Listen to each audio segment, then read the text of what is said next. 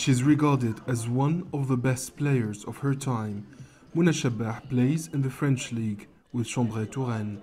The centre back is also Tunisia's team captain.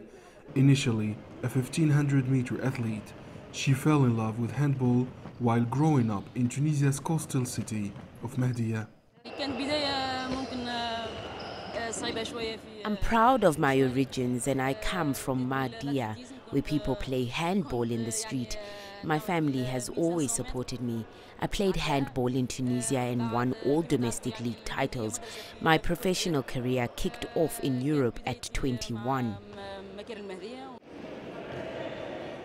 It's this vast experience that the national team tapped recently during their qualification for the 2017 World Women's Handball Championship in Germany.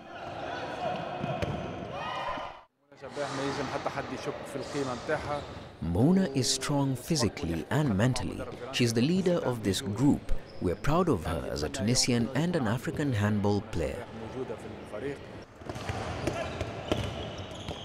14 years after her departure to Europe, Mona is convinced that she had made the right choice. She's toured Europe and gained invaluable experience. 2014 was her best year, she says. Three years ago, I won the Danish Super Cup with my team, Viborg. We traveled to Russia and won the European Cup. Then I led the Tunisian team. Tunisia won the African title after so many years of heartbreak at finals. 2014 was definitely the best year. She is the first Tunisian woman handball player to play abroad. Her achievement over the years has brought pride, respect among her people. Mouna Chebbah has spent most of her career in Europe. At 35, the Tunisian athlete isn't contemplating retirement soon.